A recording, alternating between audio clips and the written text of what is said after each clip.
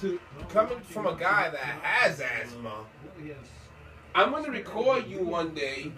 I'm gonna, I'm, I'm, we're talking maybe a year from now or two years from now. Wow, why? I'm You, gonna record the way you act, the you ain't next gonna time be you're together in two years. Because it's gonna happen again. I know this for sure.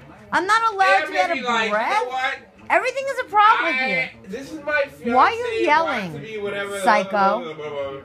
And she's talking to me because she just took a walk from her office to her nemesis office, which is, dude, her office is right here. This I was door, out. I walked this is her door, And she was right here.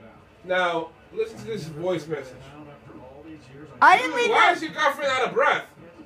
You would tell me. Anthony, you don't have voicemail, moron. You want to go over there and, and investigate? You know what? I'll pay you 500 bucks You could come by. Go over there and investigate that shit if you would like. Because it, am I being crazy? Yes. She is out of breath. Isn't she out of breath? Yeah. Does she have asthma?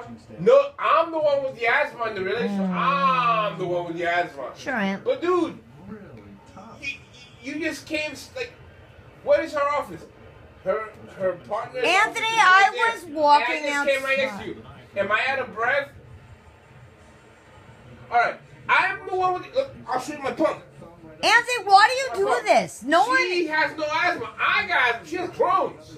She has Crohn's. which is a hundred times worse than your She's stupid lame So, asthma. like, so, so, so here is this. If she was talking to me on the toilet and you hear the, oh hey, oh we're talking about someone that's right next to the, the, the office is two inches away, and she's out of breath. I like the way you're acting now like you're actually She's out of speaking to somebody. Psycho. She's out of breath. Do you hear voices in your head too? Is that what's So- happening? Are you listening to voices in your head? Voices. Because you're talking to somebody